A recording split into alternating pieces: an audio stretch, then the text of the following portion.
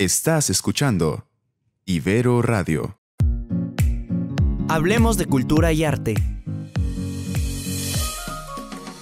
En Ibero Radio te acercamos a las manifestaciones artísticas y culturales. Así el arte se aproxima a ti. Miércoles Culturales. Te invitamos a este escenario sonoro, un programa de Ibero Cultura e Ibero Radio.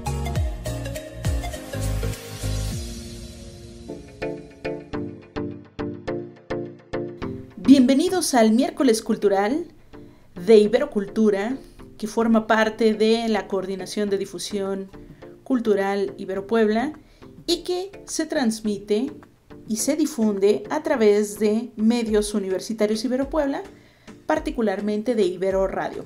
Así que eh, les damos la más cordial bienvenida. Mi nombre es Vicky Morales y saben que en este espacio tratamos de recuperar los testimonios de nuestros talentos artísticos que van teniendo su participación en la modalidad virtual a través de este espacio de apreciación que son los miércoles culturales de Iberocultura. Así que arrancamos el día de hoy saludando a nuestra querida Zaira Barrios, formadora en Ibero Talleres, titular de baile coreográfico y que ya en varios, varias ocasiones, en varios espacios nos ha acompañado también para analizar, compartir experiencias artísticas.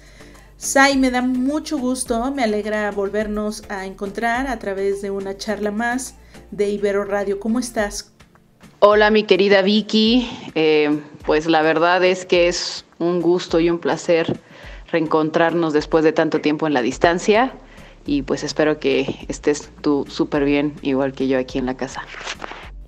Bueno, a través de Ibercultura se presentan los miércoles culturales virtuales y en esta ocasión, que justo es donde queremos recuperar tu testimonio, te has presentado con la videodanza Fatal Femme Woman Education, que a través de las redes sociales de difusión cultural nos han permitido acercarnos a esta expresión artística y nos gustaría eh, por favor, cuéntanos un poco de esta idea creativa, cómo surge esta idea de este proyecto. Bueno, Vicky, te platico muy, muy concretamente. Eh, la verdad es que el proyecto, la idea creativa, comenzó aproximadamente hace un año y unos meses. Eh, lo empecé a trabajar con mi compañera Ariadna Puebla. Las dos empezamos a preguntarnos y a cuestionarnos sobre todo lo que ha estado pasando y que se ha hecho notar gracias a las compañeras eh, de grupos feministas, pues de, esta, de estos lamentables hechos de, de, violencia en contra de las mujeres. Y bueno, nuestra, nuestra inquietud era no solamente visibilizar y observar todo lo que ya es visible y lamentablemente se normaliza, sino más bien nos cuestionábamos cómo era ser mujer, eh, cómo es el resultado de ser mujer y que no haya esas herramientas ni esas oportunidades, cómo es y simplemente explorarlo. Y pues eso fue lo que sucedió y como ustedes pudieron eh, checar, la verdad es que hay una parte que es completamente documental en donde eh, después de hacer esto que te comento con, con Ariadna, eh, Ariadna se ha dedicado a hacer algunos escritos, yo me he dedicado a hacer investigación y a platicar con, con la gente puntualmente, entonces me di a la tarea de, de, de, saber el significado de ser mujer directamente en mujeres, ¿no? Y básicamente encontré, hay una parte de este documental dentro de todo lo que se presentó en el miércoles cultural, donde se observa a mujeres hablando de la experiencia de ser mujer, y es muy lamentable ver que un porcentaje muchísimo mayor del 80% de las personas que han estado platicando y se entrevistaron, eh, híjoles, hablaban de hechos súper, súper tristes. Y las personas que hablaban de hechos súper agradables eran las personas que me hacía preguntarme sobre la excepción de la regla. Y, y, pues eso fue lo que, lo que resultó de lo que ustedes pudieron observar. Oye, Sai, y cuéntanos, ¿qué retos encontraste o con qué características podrías describir la experiencia de haber participado en el miércoles cultural de forma virtual? Eh, sobre todo tú siendo formadora de talleres artísticos, que siempre has estado en contacto con las personas, con los chavos, con los jóvenes, pues sí, me atrevo a preguntarte, ¿qué implicó hacer este proyecto de videodanza? Y esta participación en el miércoles cultural en la virtualidad? Mira, la verdad es que, como bien lo dices, estoy acostumbrada al contacto, o sea, al contacto cuerpo a cuerpo. Eh, no me dejarán mentir mis alumnos, es sumamente importante eh, la expresión corporal a través de experimentación y del tocar y de, las sensaciones, ¿no? Eh, pues claro, la pandemia y, la cuarentena, que ya no es cuarentena, primero pues fue este pequeño choque, ¿no? Shock. Eh, de, darte cuenta que ya no podías tener esa herramienta de sensibilidad, no podías tener esa herramienta de expresión. Y empezó a generar algunos conflictos en tanto a mi descubrimiento eh, en el movimiento. Sin embargo, lo tomé como una oportunidad para observar cosas en la virtualidad. Aunque era cansado al principio y retador, pues eso fue casualmente algo que me gustó. Eh, gracias, a, gracias, gracias a varias cosas en las que yo estoy eh, trabajando con artistas dentro y fuera del país, me di cuenta que se estaban organizando aún más. La comunidad dancística eh, empezó a tener un buen auge en todo esto y pues empezaron a dar colaboraciones más interesantes, más rápidas de lo, de, lo, de lo que estaba yo acostumbrada. Entonces la virtualidad me permitió colaborar con personas que no conocía, que hacían videos, con personas que estaban cuestionándose cosas desde la, la, parte sexual, desde eh, eh, la psicología, desde em, el feminismo y la política, que no podría haber sido posible si no fuera por la virtualidad, ya que estas personas viven en otros lados. Entonces, en lugar de verlo como un conflicto, lo comencé a ver como una oportunidad y una herramienta para generar cosas buenas. Y bueno, este, este, este video, que es gracias a investigaciones y lo que ya comenté anteriormente, pues resultó de así, de colaboraciones con personas, eh, entrevistas, haciendo cosas cotidianamente, diariamente. Y y pues sí, el reto se volvió una forma de expresarse también. Y al final del día yo siempre he dicho que el arte y la expresión siempre van a encontrar una forma y la virtualidad fue una super piedra, pero fue como, hello, aquí estoy. Y finalmente se volvió una herramienta de trabajo y de llegar a más personas y eso estoy muy agradecida con el miércoles cultural y también por, pues por, por cómo se, se llevó la parte de publicidad y que hubo reacción de, en, mi parte directamente de alumnos, profes, etcétera, y pues muy agradecida con Ibero como siempre y con todos ustedes, Vicky. Bueno, y también me gustaría eh, agregar a la lista de agradecimiento a los artistas y a las personas que estuvieron eh, siendo parte de, este proyecto. En, esta, en, esta, en esta ocasión fue el artista, el músico Luis Alonso, que es parte de... Una orquesta sinfónica que nos hizo toda la, toda la música de, de, ahí, nos, nos, nos, prestó la música, eh, a Michelle Vázquez, también psicóloga y este, artista de modelaje y de bordado y otras más cosas, eh, y también a, pues a la productora que, que este, se ofreció a, hacer todo, todo este, este videíto y obviamente al público que fue parte de, la documentación. Sai, pues muchas gracias de verdad por habernos acompañado en esta entrevista del miércoles cultural a través de Ibero Radio. Muchísimas gracias a ti, Vicky, y a todo el equipo de Ibero Radio que está haciendo un excelente trabajo y que nos permite seguir en contacto con las expresiones artísticas. Gracias por, por hacerme esta pequeña entrevista que creo que, que puede llegar a más personas para que lo vean como una forma también de que la expresión eh, a través de, la virtualidad sigue siendo expresión y de cómo el ser humano, como siempre, encuentra formas para, para sobrevivir y, a dar gracias ¿no? de, la supervivencia en la virtualidad. En, en, lo que se, normalizan las cosas. Muchas gracias. Eh, les, les, mando un súper abrazo a todos ustedes. Les mando un abrazo a toda la audiencia. Mucho amor a alumnos, padres de familia que han estado apoyando los talleres desde casa.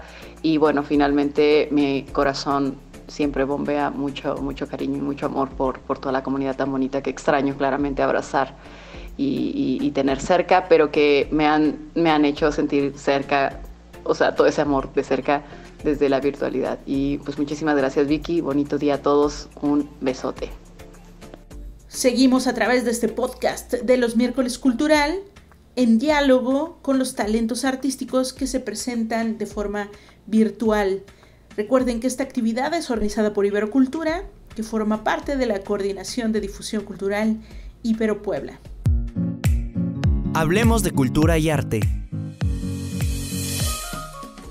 A través de los miércoles culturales, recuerden que tenemos esta oportunidad como usuarios digitales, pero también como parte de la comunidad universitaria de la Ibero Puebla, de participar de la apreciación artística a la que nos invitan diferentes talentos en la Ibero Puebla. Y bueno, en esta ocasión me toca conversar con el maestro Gunther Petrak, a quien saludo cordialmente a través de esta virtualidad y quien nos da mucho gusto que a través de Ibero Radio también nos permita estar con usted. ¿Cómo está, maestro? Buena tarde, buenos días, buenas noches para todos. Sí. Hola Vicky, hola a todos y a todas quienes nos escuchan. Aquí estamos. Muchas gracias. Creo que ha sido todo un reto para muchos artistas en este confinamiento, en esta temporada que como humanidad estamos viviendo, pero nos gustaría escuchar eh, cómo a través de este miércoles cultural pudimos tener la oportunidad de acercarnos desde su perspectiva, qué fue lo importante o aquello que usted quería manifestar a través de esta presentación que además trató sobre la obra de Sor Juana, Sor Juana Inés de la Cruz, tanto como poeta, pero también como cocinera. Entonces, a ver, compártanos cómo, surge esta iniciativa, este proyecto que se presenta y que acerque también a los que nos están escuchando. Sí, pues mira, este, primero recibí una invitación de la Ibero, por supuesto, y me dijeron que se programaría el video para el día previo al nacimiento de Sor Juana. Entonces, eh, bueno, todos sabemos la gran figura que fue la décima musa, lo que fue Sor Juana, pero quizá ya todo está dicho, ¿no? Sobre Sor Juana. Yo soy el coordinador del taller de creación literaria, soy escritor, bueno, psicólogo, hice una maestría en letras ahí en la Ibero, y tengo 32 años trabajando en la Ibero.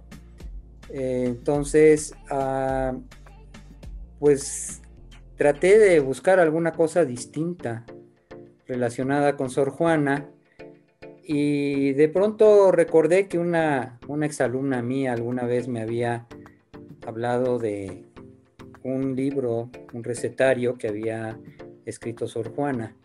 Y entonces me puse a investigar un poquito más y dije, bueno, pues cocinar un platillo es también a veces como cocinar un poema o cocinar un cuento. Y por ahí también me acordé de una receta que hizo Tristán Sara, el fundador del movimiento dadaísta, movimiento de vanguardia de principios del siglo pasado. Eh, y entonces dije, bueno, pues es quizás sea una buena idea combinar ambas cosas, ¿no? Una receta culinaria escrita por Sor Juana Inés de la Cruz y pues una receta para hacer poemas. Así que, de ahí surgió la idea. Comprendo porque además al, ver esta producción, eh, bueno, nos, da contexto también incluso en la virtualidad, ¿no? Con, los elementos, tanto culinarios como poéticos. ¿Y qué importancia para usted tuvo haber hecho este ejercicio? ¿O qué retos o, qué se movió en usted haber hecho este ejercicio virtual, dado que, bueno, veníamos teniendo una dinámica de los miércoles culturales en presencia, ¿no? De la comunidad, con los jóvenes. Compártanos, por favor. Bueno, yo ya había hecho previamente otro video para promover los talleres literarios. Fue el primero, es decir, en mi vida solo he hecho dos, dos videos. Eh, uno lo hice con una camarita portátil eh, y, el otro lo hice con mi celular. Creo que salió mejor con el celular. Eh, para mí fue un reto, en primera porque pues nunca había hecho video. tampoco a pesar de que fui coordinador de, la licenciatura en comunicación y, promoví mucho eh, los talleres de radio y de, televisión, en su momento, estoy hablando de 1994, ¿no? 94-97.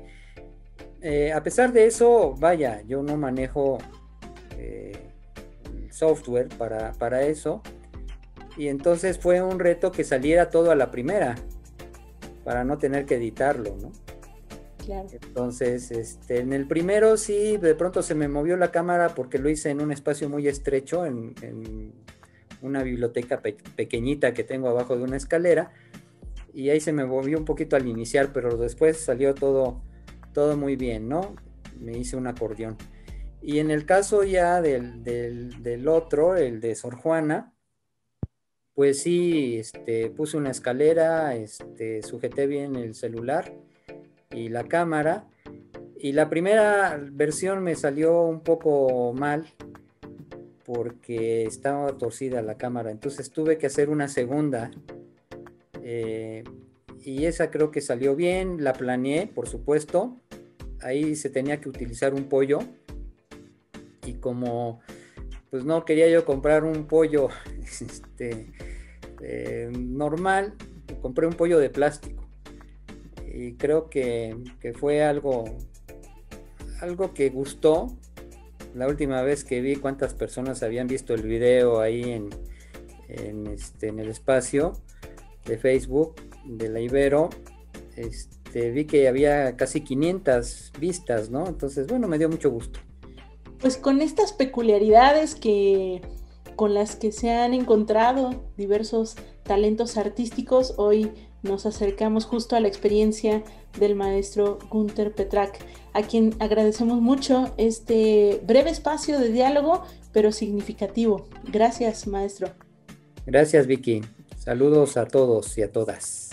No olviden seguir justamente la fanpage de difusión cultural Ibero Puebla, en donde podrán encontrar todas las presentaciones de los miércoles culturales virtuales e incluso de meses atrás. Así que vayan para allá, denle like, síganlo y degusten de todo este acercamiento cultural que tenemos a través de la Coordinación de Difusión Cultural Ibero Puebla, tanto con Iberocultura, que es quien justamente organiza este espacio de los miércoles cultural, como también de otros espacios en donde podemos tener la oportunidad de acercarnos a los talentos artísticos. Mi nombre es Vicky Morales y nos escuchamos en el siguiente podcast de miércoles cultural. Hablemos de cultura y arte. En Ibero Radio te acercamos a las manifestaciones artísticas y culturales. Así el arte se aproxima a ti. Miércoles Culturales. Te invitamos a este escenario sonoro, un programa de Iberocultura e Ibero Radio. Estás escuchando Ibero Radio.